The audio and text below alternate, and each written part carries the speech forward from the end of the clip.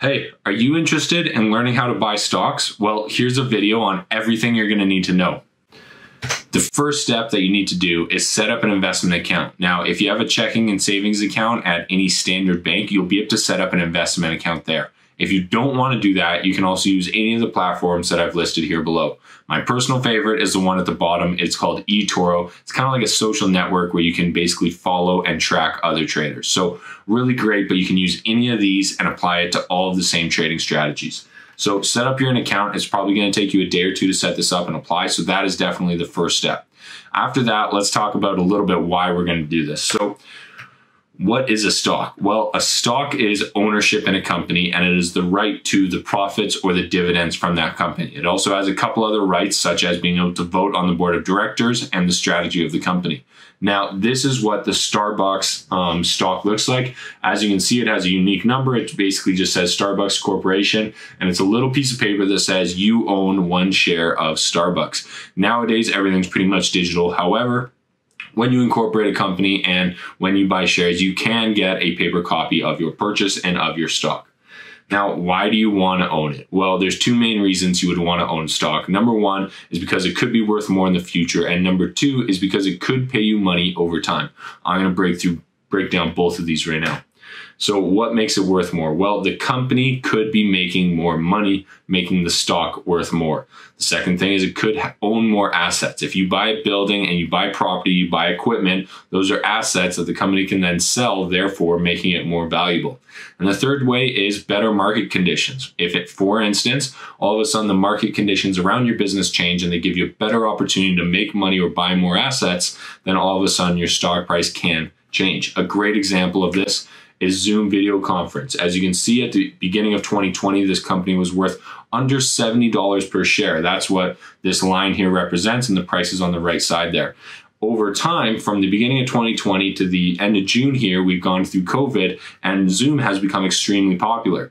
Therefore, the market conditions have changed around this company and the stock price is now $248 per share, meaning you would have over tripled your return on this stock, made over a 300% return. And if you put $100,000 in, you would have had over $320,000 now. So, really amazing return and a great example of a company that is worth more now than it was a couple of months ago because of the change in market conditions and an opportunity to make more money.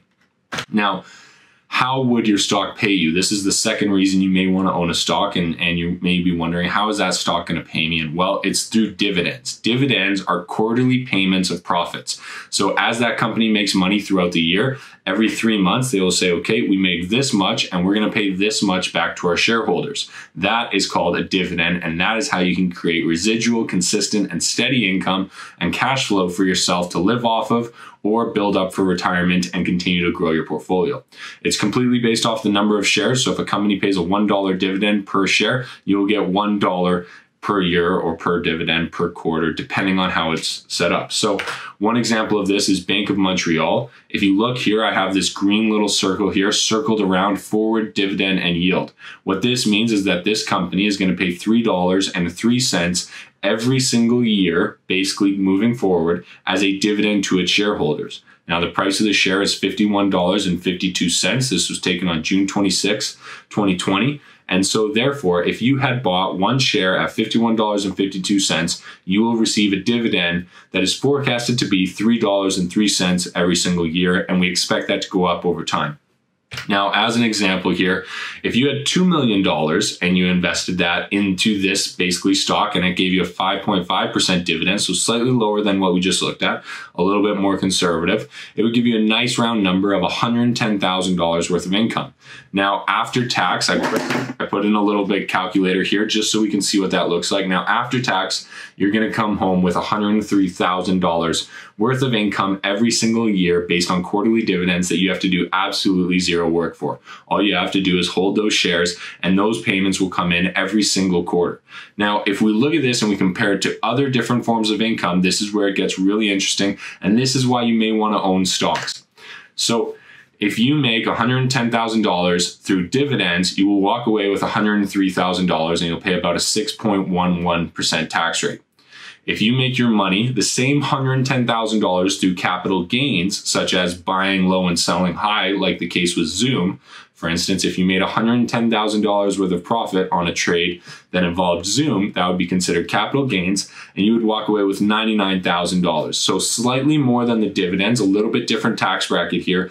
But here's the real kicker is both of these, you're paying under 10% in taxes and you're doing absolutely nothing except buying and holding these shares and then selling them at a profit later on. If you were to work and create a salary for yourself and get a job that paid you $110,000 a year, you would only walk away with $79,718 because you would pay $30,000 in tax or an average tax rate of over 27%. Meaning, if you work really, really hard for your money and go to work every single day and go create a salary, you're going to pay more taxes than if you had just collected dividends or traded Zoom and made a bunch of money on it. That is absolutely crazy, but that is the world world that we live in, and that is why you want to be an investor, a stock trader, and you want to own shares that are going to create you money instead of going out and getting a salary or an hourly job to provide you an income. You want to be able to create that financial freedom to help yourself and generate an income, save the taxes, and build wealth for you and your family. That's the goal here, and that's why this matters. So buying stocks, really simple, five-step process. Um, we've already covered one of them basically by setting up your account, really easy to do. Now I'm gonna walk you through the next couple steps. Number one is set your goals. You need to figure out why you want to get into this, why you're going to buy stocks, and what you're going to do with them. So, your goal could be set up for retirement. You could be trying to buy and hold these shares till you retire and have a nice little nest egg ready to go. You could also be doing it for cash flow. Let's say you have 10, 20, 50, $100,000. You can invest it into dividend paying stocks. you can generate cash flow for yourself on a monthly basis. If you invest in three different companies that pay quarterly dividends all on different months, you can set yourself up to receive a monthly check to basically provide yourself with cash flow and cover all of your expenses.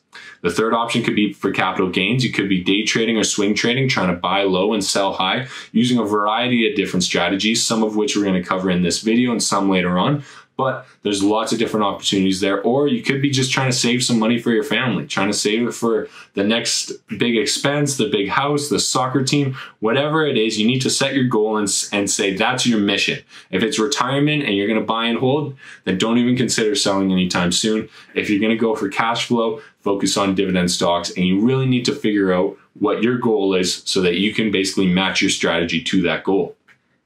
Secondly is time horizon. This is a big one, especially when it comes to stocks because timing is so important. There's a couple different options with regards to time horizon. The way I like to think about it is a day trader is somebody that buys and sells within the same day. It means you're getting in early, you're selling a little bit later, and you're trying to scalp a couple of percent in between. A swing trader is somebody that buys Zoom in January and sells it in June or buys it for, and holds it for a couple of weeks, even as short as a couple of days. But what you're looking for is that swing where it goes from low to high or high to low, and you're trying to capitalize on that price movement, but you are not planning on holding it for years and years, and you're also not planning to buy and sell within the same day. I consider that a swing trader. The third time horizon that you should look at is being an investor. An investor is something that's going to hold for a long time period. This is somebody like Warren Buffett, Bill Gates, any of these guys that are going to buy the shares and hold it for years and try and develop a portfolio that's going to give them a consistent return and a great retirement later on, or use that money to buy a house or make a major purchase. Those are investors that are looking for value, that are looking for stocks to buy and hold that are going to appreciate over time or generate cash flow through dividends that they can add back into their portfolio. So what you need to do is think about what's your time horizon? Do you want to get into this and learn how to day trade? Do you want to learn how to swing trade? Or do you want to try and build a long-term portfolio and build some wealth? Really up to you. Third thing, find your company. So you've already established your goal, you've got your timeline. Now it's time to actually make that investment. The way you do this is you start with the big picture. Start with what country you want to invest in. I'm in Canada. I do a lot of Canadian investing. I also do a lot of US investing. I don't do a ton of overseas because it's just out of my ballpark and out of my knowledge. If you're in the UK or you're in Asia or you're in India, start investing in maybe your own country or something that you're familiar with. But that's the number one thing is choose the country that you want to invest in first. Then choose the sector. For this example, we're going to use Apple and Microsoft. So our country would be the United States. The sector would be either um, basically technology. That's what we'd be looking at here. And then find an industry inside of that here we're looking at personal computers and basically personal computing devices and then compare your companies. So we started big, we started with the country, we broke it down into the sector. I'm looking at technology, I'm looking at personal computing, and then I'm gonna find the two or three best companies in that sector and figure out which one I want to invest in. So in this example, we're gonna look at Apple and Microsoft and we're gonna compare these companies using two different strategies. The first one is by looking at the financials. Now, this is really simple. You can go to yahoofinance.com and you can find all of this information by just typing in the company name and looking up their statistics. It goes through the financial statements of that company and gives you all the statistics that you might want to see in order to compare them. I've broken it down here and basically just summarized that information for us. So I'm comparing Apple on the left here and Microsoft on the right, and I'm looking at four different financial metrics that we're going to use to compare these companies. So on the left-hand side here, these, these are the metrics I'm using. Okay, so the first metric that we're gonna look at is price to sales. Now, price refers to the price of the entire company or the value of the entire company divided by the sales of the entire company. So what we're looking for is a lower value, meaning that we're getting better value for the sales. So when we look at Apple, it's 5.85 compared to Microsoft at 10.85. Now, what this is saying is that when we buy Apple shares, we're getting much more sales volume per share than we are compared to Microsoft. Microsoft, we're getting basically half as much compared to Apple. The second value we're going to look at is price to earnings. So what this is, is the price or the value of the company, the exact same thing, divided by the earnings. So this is how much the company actually makes. Now, if we look at this, we can see Apple is 24.36, meaning that it's takes 24.36 times its earnings to get to the value of the company. With Microsoft, it's 31.9, almost 32 times its earnings to get to the value of the company. So, for instance, the idea here is if the company gave back 100% of its earnings to its shareholders in the form of a dividend, it would take 24.36 years to get back the entire value of that share or that investment. With Microsoft, it takes even longer. So in this metric, Apple is clearly the winner. The next ratio we're going to look at is the current ratio. Now, this is how much cash the company has compared to how much cash the company owes. Basically, it's how good are they in their cash position? Do they have enough money to keep going? And when we look at Apple, it's 1.5 compared to Microsoft of 2.9. So clearly, Microsoft has much more cash than Apple does. However, they're both well above that one ratio, that one. So, for instance, if they were below one, it would mean they have less cash than current liabilities, or meaning that they owe more money than they actually have. Both of these companies are above that one number, so that's really important. And 1.5 is a pretty safe current ratio for Apple. So it doesn't worry me at all. Microsoft did beat it on this ratio, but as long as Apple is above that 1.2, 1.3 kind of mark, I'm not even concerned about it. And when we look at the dividend yield, this is how much profit the company is giving back to its shareholders. Both of them are right around that 1%, so they pretty much tie here. So when we look at the financials of Apple versus Microsoft, what comes to mind for me is we're getting much better value when we buy Apple compared to Microsoft, both in terms of sales and in terms of earnings. And their current ratios are both above 1, 1.4. One of them's 1.5. So I'm not concerned with the current ratios at all, especially with some new products coming out for Apple. So as of right now, I like Apple the best based on the financials. The next method we are going to use to compare these stocks is what I call a perfect chart. It's from stockcharts.com. I can show you exactly how to get this in some of the later videos. But basically what it's doing is it's comparing Apple and Microsoft over the last 365 days. So if both stocks started at zero 365 days ago, or if you had just bought both stocks 365 days ago, how well would you have done? That's what this chart is showing. And so if we look at Apple in red compared to Microsoft in blue, we can see that Apple has done tremendously better than Microsoft has. So if you bought Apple a year ago, you would have made over 130% on it. If you bought Microsoft a year ago, you would have made about 90% on it. Now, both of those are phenomenal returns. However, we can see that Apple has clearly given a much better return to investors than Microsoft is. So that is just a little bit of information that we can pull from the charts. You can definitely dive in more to this, but that was just a quick glance at it. So when we compare these companies, we can see that financially, Apple is much better, has much better performance. And on the charts, we can see that Apple also gives a much better return to investors. So for me, I'm going to be buying Apple and I'm going to show you exactly how to buy these shares coming up. Okay, so the fourth thing that we want to do is actually make the trade. Now that you have your account signed up with either your bank or Questrade or eToro or one of the platforms, the next step is to make the trade. So these are some of the definitions that you're going to need to know. And I'm about to exit my screen and go right into my bank system so that I can walk you through all of these. Okay, so I'm in my bank. First thing I'm going to do is just log in and get to my direct investing page. Oh, wrong password. There we go. So I use RBC. I'm in Calgary, Alberta, Canada right now. So RBC is definitely a big bank here. Um, okay, so I'm in my investing. I go choose my account. I use my margin account, and right now I'm doing phenomenally well in this account. Uh, so as you can see, I've got Air Canada right here. We're up 21,000%. That's because I invested into Air Canada and then I actually took out my original position. That's why my book cost is negative 15. And then I also own Shopify and we're up $11,000 or 113% on this one. So doing really well on this, but it's time to buy a share. So I am looking for Apple. So all I'm going to do is type in the ticker AAPL. That's the Apple ticker. I'm to click on this and then we can see the exact stock price and go through everything here. So it's what it's going to bring up is basically my stock quote. It's going to give me the price of the share, a little bit of information about it, and and how it did today. So today, Apple is $361 US, is up $8.15 or 2.3%.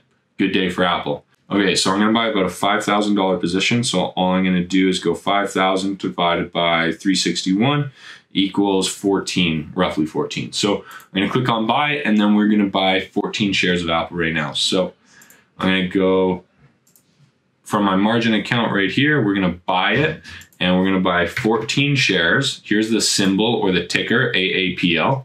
I'm buying it on the US market, not the Canadian market. And I'm going to place a market price order. Now, what market price means is it's just going to execute my trade at the best possible price means it's going to execute it automatically very fast at the best price I can possibly get. The other option here is a limit order. Now a limit order is gives you the ability to only get in at a certain price. So today Apple was $360 or whatever it was, $361. If I placed a limit order, I could place it at $360 so that the only way my trade executes is if that stock drops below $360 then it will execute my trade. So for me, I'm going to get into Apple and I'm going to hold it for a little while. So I'm going to place a market price order.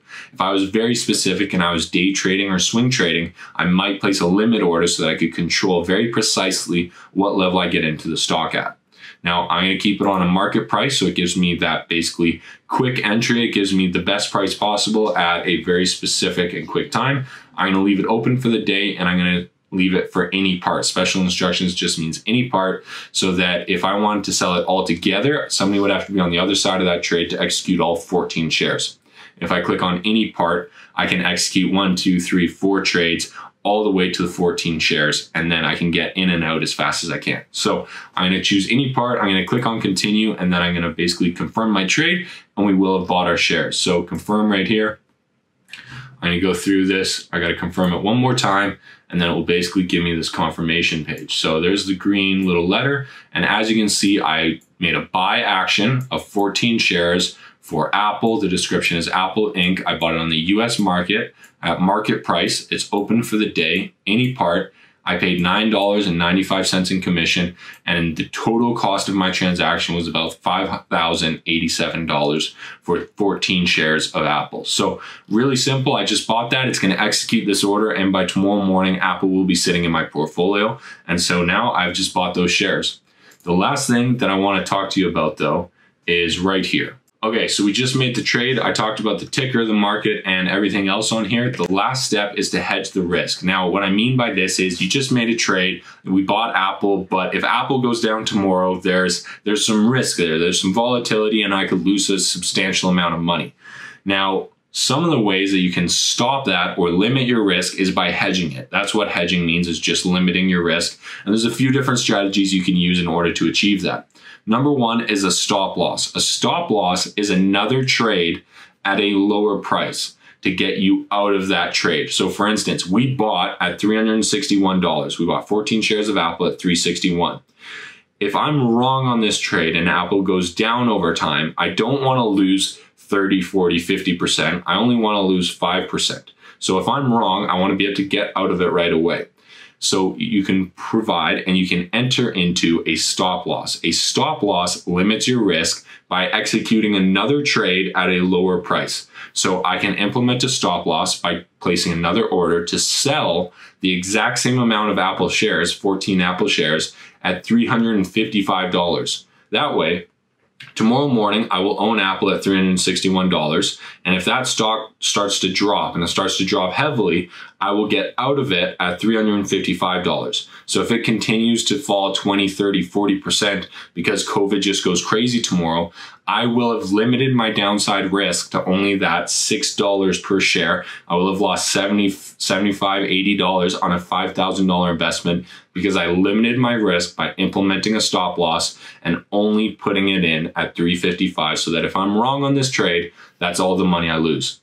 There's other options to limit your risk as well. You can buy an opposing industry. For instance, if you're buying oil and gas stock that is highly susceptible to the price of a barrel, well, if the price of a barrel falls and that oil and gas stock is clearly the value of that is going to fall, well, there are other industries that are going to benefit benefit from that, such as the airlines. So if you go out and you buy an oil and gas stock and the oil and gas price starts to fall, well, these airline industries are likely going to make more and more money because they'll save money on fuel. Therefore, you can hedge your risk in your oil and gas bet by buying the airline. So that's just one more example of how you can hedge your risk. Now, the last thing I want to talk to you about is learning how to trade because it's a really important thing here. There's two basically types of research you can do. One is technical and that's looking at the charts. And the second one is fundamental and that's looking at the financials. We looked at one example of both of those today, but there's tons of more strategies that you can use to figure out what's the best company to invest in, when is the best time to invest in that company, and when you, should you get out to take the most profits. But the big thing here is you need to understand how the markets work. You need to understand what risks you're taking and how to manage them. The worst thing you could do is realize that, oh crap, I made a bad trade and I've lost more money than I was expecting. It gives you a gut wrenching feeling in your stomach and it's so hard to climb back out of that, both mentally, mentally and financially. So what we've done is we've started to create a basically a resource for you and we call it stock market fundamentals. What it is is over seven hours of instructional video designed to help you learn how the stock market works, how it started, how it's structured, and how to actually properly trade the market as a beginner.